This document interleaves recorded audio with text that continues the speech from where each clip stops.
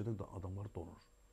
O borular partlayır ha indi Rusiyada. Küçədə nənələr ocaq qayılayıblar. Zaymir, Zayim, nənələr 90-cı illərin geyimində, 90-cı illərin sifətində başa düşürsüz. Elə bilirlər ki, onlar Ukraynanı indi işğal etsələr xoşbəxt olacaqlar. Sonra gedib Litvanı işğal edəcəklər, yenə xoşbəxt olacaqlar. Onlar donurlar küçədə. Niyə? Çünki o borular 90-cı ildən bu dəfə təmir olunmayıb. Heç nə, hamısı yeyilib. Pul da buraxılıb ha. Bir mərminin qiyməti Sevinç xanım, o top 155 çaplı top var ha. Millimetrli top var ha. Bir mərminin qiyməti 4000, 5000 dollardır. 3000 dollar, 5000 dollar arası bir mərmidən gedir söhbət. O 5000-lər bilirsiniz necə atılır ki, orada adamları öldürsünlər. Oranın pulu havaya sorulur. O raketlərlə, o toplarla nə üçün? Axı nə üçün? Nəyə görə? Əgər nə qədər ki o topun o o zümrüdən yaxasından soruşmayacaq ki, nəyə görə biz oradakı qardaşlarımızı öldürürük, amma burada borumuz partlayıb küçədə donuruq. Nəyə görə? O toplum o soruşmayana qədər bu davam edəcək.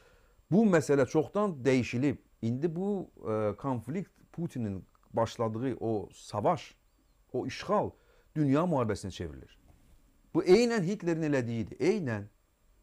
Baxın, e, Krımın alınması 2014-cü ildə belə də sülh yolu ilə güya da alınması, belə də işğal olunması daha doğrusu. Bu Hitlerin Avstriyaya anşlüzüdür, ora girməsidir. Sonra ə, Lugansk və Donetskdəki gedən müharibə bu Çexiyada, Sudet vilayətidir ki, orada nə deyirdi Hitler? Almanların hüququ pozulur. Və girdi oranı götürdü. Bu da Lugansk Donetskdə. Hələ demirdi mən oranı alıram. O deyir ki, yerli almanlar Avstriyada bizə birləşmək istəyirlər. Çünki biz Almanıq. Doğrudan Avstriyalılar Almandılar. Baxın, gör necə bənzəyir. Krımdakılar da Rusdur. Və yerli almanlar Çekiyada haqları pozulur. Onları öz dilində danışmağa qoymurlar. Lugansk Donetskdə deyirdi ki, Ukraynalılar onları öz dilində danışmağa qoymurlar. Nə bilim orada şey qərar qəbul olunub, həmin şey deyil. Və orada artıq savaş başladı. Yerli almanlar o deyirdi Hitler dedi mən deyiləm. Mən deyiləm, o yerli almanlardır. Və ona görə də bütün dünya ona baxırdı və deyir, hə özü də yerli almanlardır da. Xalqların öz müqəddərini həll etməyə necə bizdə Qarabağda kimi göz yummurdular. Həmin o şey alçaqlar bu məsələyə. Mən onlara alçaq deyirəm. Çünki görürsən ki, işğal edirlər Azərbaycanı, sən göz yumursan da. Və, və onunla paralel də Azərbaycanda oturub Rusiyanın oradakı işğalının da tərəfində saxlayan onlar da alçaqdır. Onlarla necə ki ermənilərə ə, rəvac verənlərlə eyni adamdırlar. Amma sonra nə baş verir? Sonra o Hitler görür ki, bundan çəkinirlər və deyir ki, daha bilirsiniz nə var? Yerli almanlar yox, alacağam. Elə mənə. Mən böyük millətin nümayəndəsiyəm. Hollandiyanı da alacağam, aldı. Çekiyanı da alacağam, aldı. Polşanı da alacağam, aldı. Fransanı da alıb, odur da. Təəssüf bunun gücü Hitler qədər deyil. Ona görə də Qazaxıstanı da alacağam, nə bilim Finlandiyanı da alacağam, Litvanı da alacağam, Azərbaycanı da alacağam, Gürcüstanı da alacağam, ala bilmir. Girib ora və hamı elə bilirdi ki, bu məsələ elə orada bitəcək. Bu gün bitəcək, sabah bitəcək, fevralda bitəcək. Xeyr. Kimsə əyərlərim proqnoz verirsə 2024-cü ildə bu bitəcək, o sadəcə nə siyasətdən, nə də ümumiyyətlə tarixdən anlayışı olmayan bir adamdır. Heç kim bilməz bu nə vaxt bitəcək. Heç kim də müharibənin nə vaxt bitəcəyini söyləyə bilməz. Mümkünsüz bir şeydir. Bax mən bu gün başlayım analitikaya, bir bir hamısını deyim, sonra soruşun Kamran, hava bu dinlə, onu mən bilənmərəm. Biz onu görürük ki, bu məsələ Ukrayna Rusiya qarşı durmasından çıxıb. Artıq nə Merkel var, nə Sarkozy var, nə Macron da o Macron deyil, nə Scholz da o Scholz deyil. Nə İngiltərə o İngiltərə deyil ki, İngiltərə əvvəlindən bəllidir. Nə Amerika o Amerika deyil. Nə o Saudiya Ərəbistan o deyil. Çin artıq o deyil çəkilib dayanıb qıraqda. Çünki onlar çox ağıllıdırlar. Niyə? Çinin bilirsiniz tələsən yeri yoxdur. Nə üçün?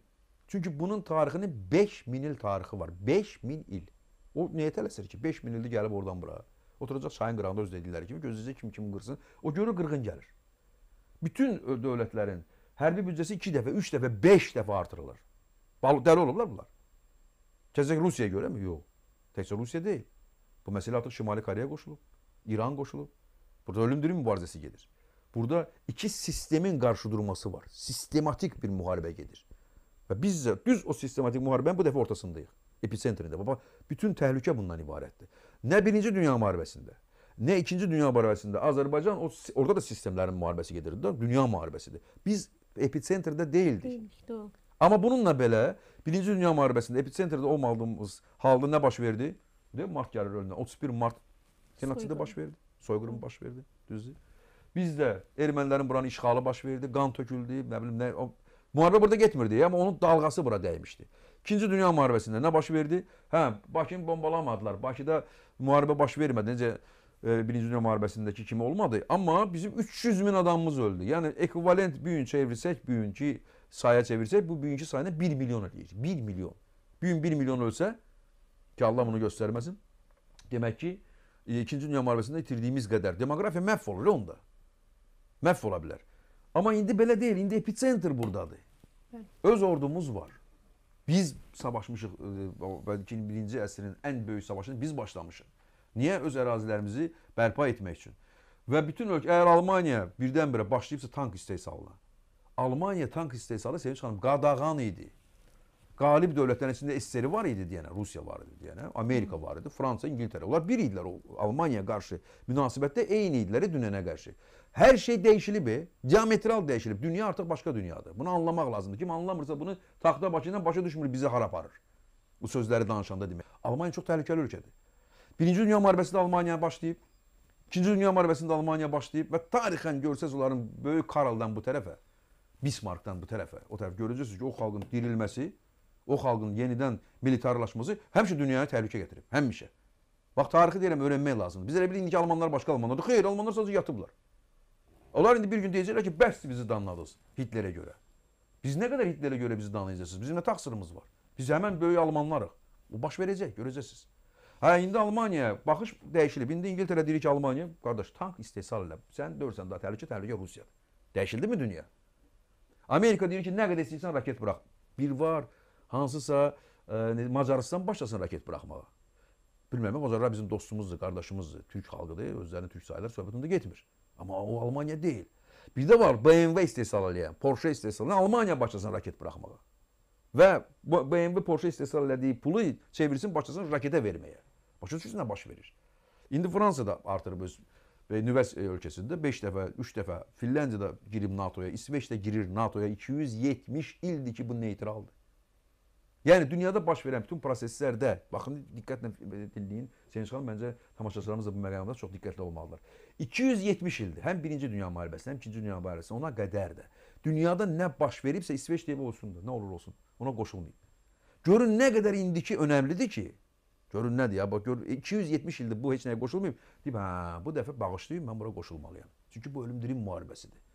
Böyük dünya müharibəsi ərəfəsindəyik. Önünü almaq olarmı? Olar. Necə almaq olar? Ancaq oradan Putin hakimiyyətinin getməsi ilə. Ancaq. Yeganə yol odur. Yox, bu böyük müharibə çevrilir. Məsələ Ukraynada deyil.